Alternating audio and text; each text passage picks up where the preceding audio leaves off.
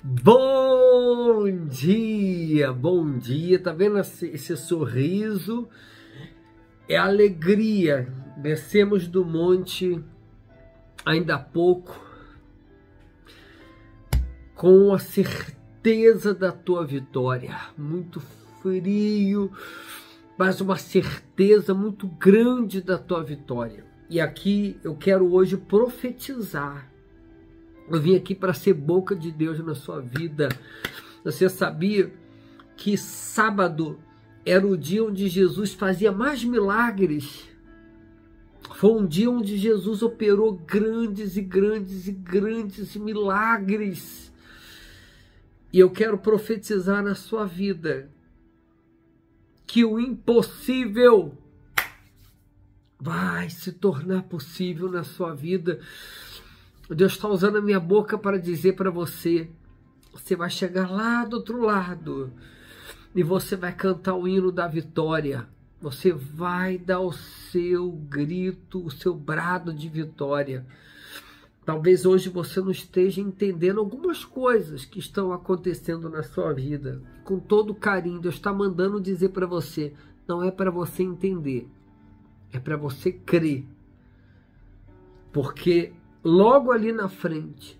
Aguenta mais um pouco, segura as pontas, porque esse problema vai virar testemunho. Esse levante, o que estão fazendo para te derrubar, o que estão fazendo para acabar contigo, o que estão fazendo para te desestruturar, o que estão fazendo para acabar com você, tirar tua paz. Quando você ora a Deus, é o que você está fazendo aqui, eu não acredito em casualidade, Deus não erra endereço.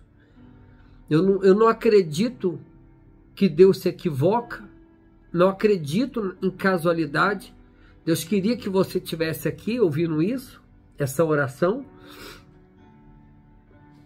Deus escolheu você. E Deus está preparando uma grande vitória para a sua vida. Você recebe, você toma posse tudo que fazem para te prejudicar, lá na frente vira vitória, lá na frente vira milagre. Tudo que fazem para te atrapalhar, no final acabam te ajudando. Escuta o que eu estou te falando. Confia.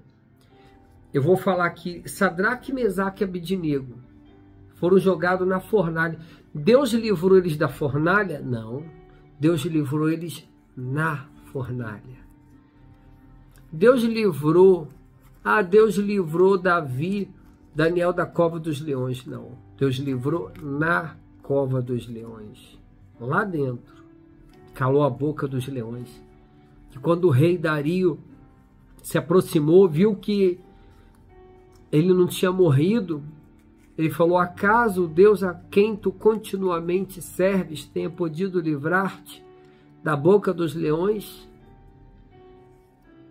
Deus livrou Daniel. Deus está fechando a boca do leão, a boca, tão, a boca que estão tentando te defamar para o juiz, a boca que estão tentando te defamar aí, ó, na sua família, o seu trabalho. Vão confessar a tua vitória.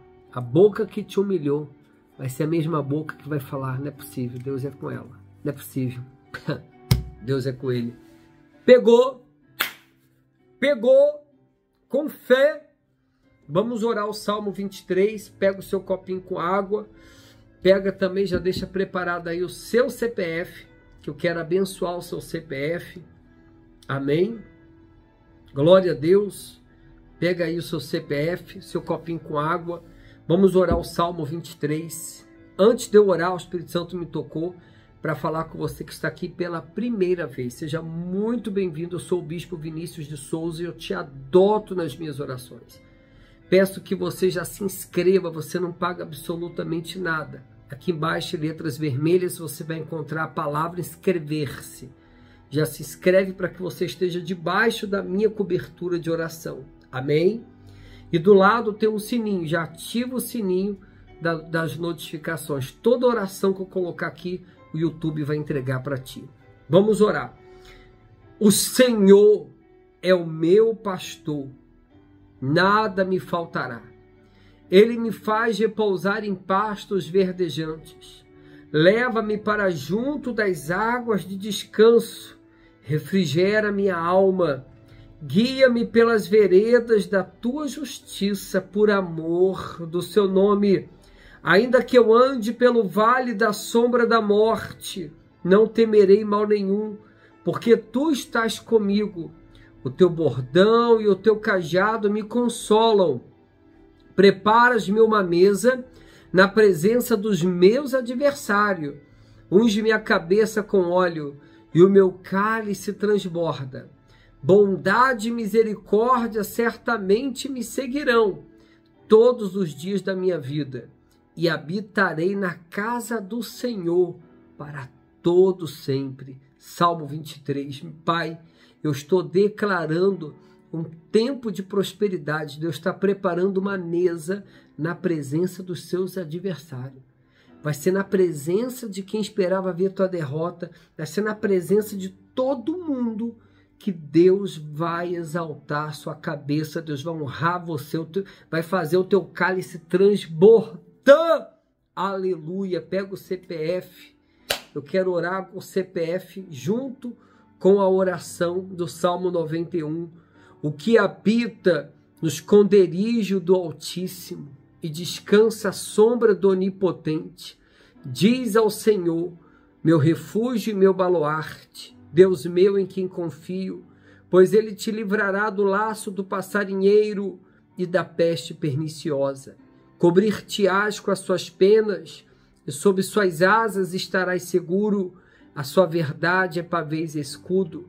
Não te assustarás do terror noturno, nem da seta que voa de dia, nem da peste que se propaga nas trevas, nem da mortandade que assola o meio-dia. Caiam mil ao teu lado, dez mil à tua direita, tu não serás atingido. Somente com os teus olhos contemplarás e verás o castigo dos ímpios, pois disseste: O Senhor é meu refúgio Fizeste do Altíssimo a tua morada, nenhum mal te sucederá, praga nenhuma chegará à sua tenda, porque aos seus anjos dará ordem a teu respeito para que te guardem todos os seus caminhos. Eles te sustentarão nas suas mãos, para não tropeçares em alguma pedra. Pisarás o leão e a áspide, calcarás aos pés o leãozinho e a serpente, porque a mim se apegou com amor eu livrarei, poloei a salvo, porque conhece o meu nome, ele me invocará e eu lhe responderei. Na sua angústia eu estarei com ele, livrá-lo-ei e o glorificarei, saciá-lo-ei com longevidade e lhe mostrarei a minha salvação. Salmo 91. Pai, eu determino uma bênção sobre esse CPF Portas estão se abrindo nesse sábado, milagres estão acontecendo. Abençoe todos os trabalhadores, receba a bênção do dia, a bênção do trabalhador, e agora vai acontecer milagres de cura, libertação. Pegue o seu copinho com água e ore com teu bispo. Pai nosso que estás nos céus, santificado seja o teu nome. Venha a nós o teu reino Seja feita a tua vontade, assim na terra como no céu. O pão nosso de cada dia nos dai hoje. Perdoa as nossas dívidas, assim como nós perdoamos aos nossos devedores. Não nos deixe cair em tentação, mas livra-nos de todo mal, pois teu reino é o poder, a honra e a glória, hoje e amanhã, para todo sempre. Amém. Graças a Deus. Beba o primeiro gole em nome do Pai, depois do Filho, depois do Espírito Santo.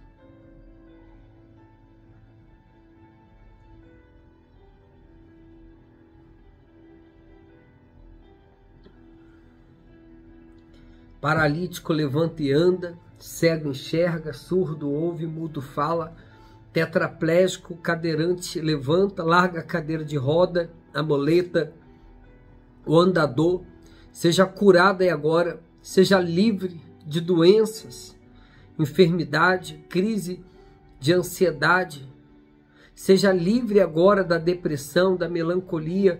Seja livre agora do mal de Parkinson. Seja livre agora do AVC, do derrame. Eu profetizo a cura dos coração, o controle do colesterol, o controle dessa pressão. Receba a tua vitória. Aleluia. Debaixo da bênção do Salmo 23 e do Salmo 91, eu estou profetizando prosperidade, abundância e fartura e proteção e livramento para você e para sua casa. Diga glória ao Pai, ao Filho e ao Espírito Santo.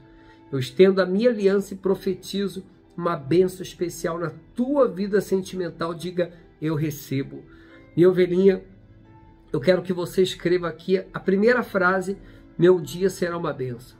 E embaixo, coloque o nome de toda a sua família debaixo da bênção do Salmo 91. Escreva debaixo da bênção do Salmo 91 e vem colocando o nome da sua família. Porque eles vão estar guardados, protegidos, e o Espírito Santo vai fazer a obra no coração de cada um deles. Amanhã, aqui estaremos na nossa rotina de oração. Compartilhe essa oração para 12 pessoas. Amém? Glória a Deus, que Jeová Rafa te abençoe.